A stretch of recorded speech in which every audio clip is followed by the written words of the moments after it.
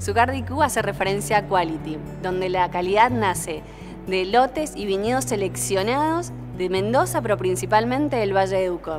Estos viñedos son trabajados durante todo el año para lograr el equilibrio de cada planta y poder obtener así la máxima expresión de cada viñedo. El momento de cosecha para los lotes de Zucardi Q se definen por degustación.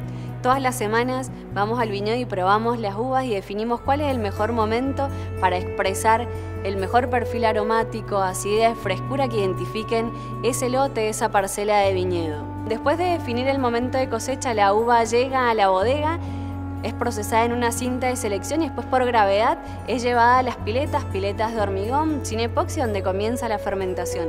Una fermentación natural sin levaduras. Luego de esta fermentación el vino va a criarse una parte en barricas y una parte en hormigón.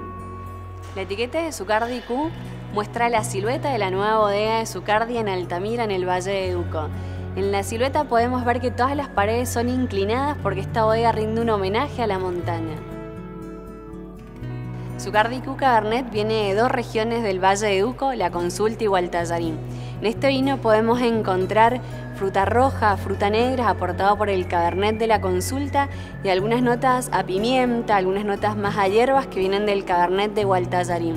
En boca entra con taninos presentes, pero que son muy envolventes y sedosos, y termina con un largo y profundo final.